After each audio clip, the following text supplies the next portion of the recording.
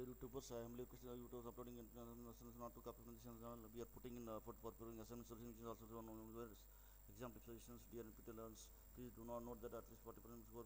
Most of the questions come from the assignments. Uh, in spite of your busy work, please revise once after watching to get better score. Subscribe now. Hello viewers, in this video we will see the solution to week 5 assignment 5 for the course digital image processing. First question, first question they have given two signals, two signals x of n, y of n, x of n and y of n. And uh, their uh, DFT coefficients are x of n respectively are x, x of k, y of k. So then z of k is the multiplication of these two DFT coefficients x of k and y of k. Okay? And uh, what is this is equivalent to? What is this e- taking inverse inverse dft taking inverse dft of z of k what is this is equivalent to so linear convolution circular convolution correlation or none of this we'll see the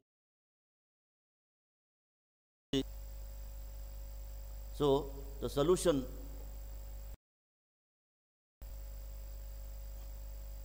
to this is option B. Option B, circular convolution. Option B, circular convolution. Circular convolution. Option B. Second one, determine the circular convolution of two sequence x of n and h of n. 1, 2, 3, 4, 5, 6. Okay. The answer for this is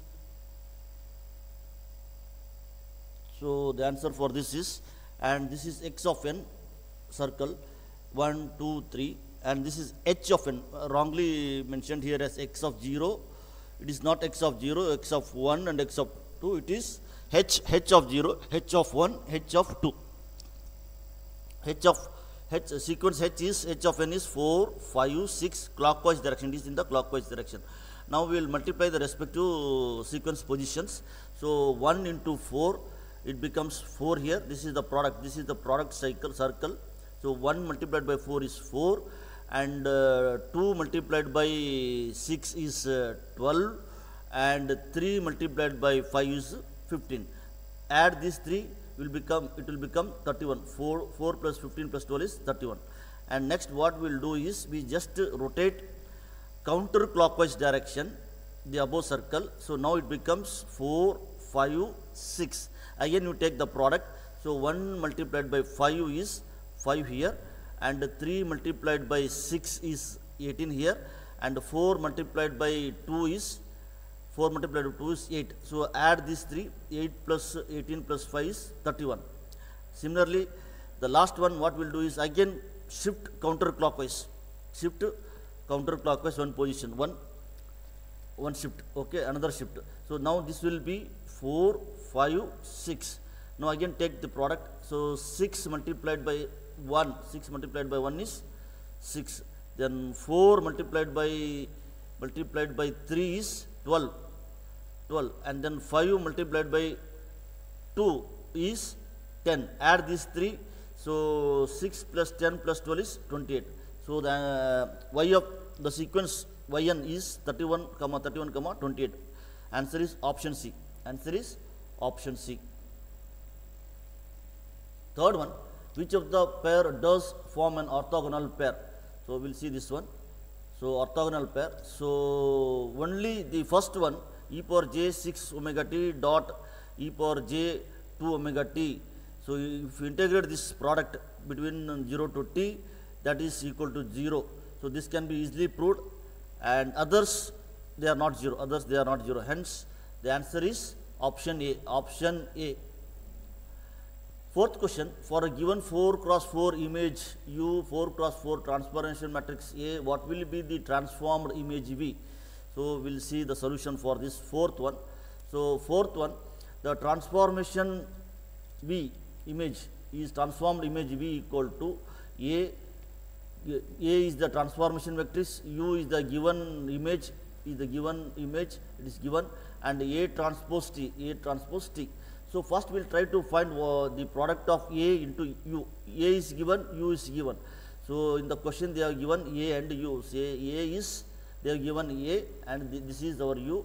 So we'll take for multiplication, this is A and this is U. If you multiply this, you will get 10, 10, 10, minus, minus, minus 2, minus 2, minus 2, minus 2, minus 4, minus 4, minus 4, minus 4, 0, 0, 0, 0. So now I, what I am going to do is I am going to multiply this, this with A transpose, A star transpose, A conjugate transpose. So A conjugate, A conjugate transpose will be the, will be the same as A, will be the same as the A. So this and this are same, this, these two are same. And if you multiply these two, A, if you multiply these two, if you multiply these two, you will get, you will get a 10 minus 2 minus 4, our remaining elements are 0. So the answer is option B, answer is option B. So answer is option B, 10 minus 2 minus 4 remaining elements are 0 is option B, option B. Fifth question, how does image transformation represent a given image? So the answer is option B, a series summation of a set of unitary matrix. That is the basic definition. So option B, option B, fifth one option B, fifth one option B. That is the definition for image transformation. Which of the following relation is true for one dimensional Fourier transformation? And this is also option B, this is also option B, sixth is option B. So option B, this is the Fourier transform definition. This is the basic Fourier transform definition. So this is option B, this is option B. And then seventh question, what will be the Kronecker product? A Kronecker product, A Kronecker product, A and B, A and B the Kronecker product. Given matrix A and B. So A is 1, 2, 3, 4, B is uh, 2, 1, 1, 2. We'll see the solution for this one. So the solution, the Kronecker product between A and B matrices between A and matrices, how we will find this and this is how we are going to find the Kronecker product.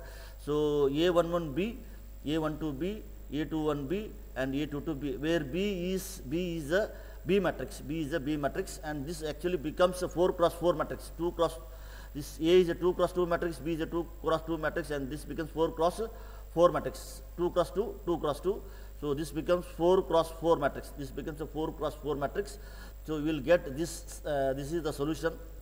2 1 4 2 1 2 2 4 2 4 6 3 8 4 uh, 3 6 4 8 and the option the answer is none. Option D.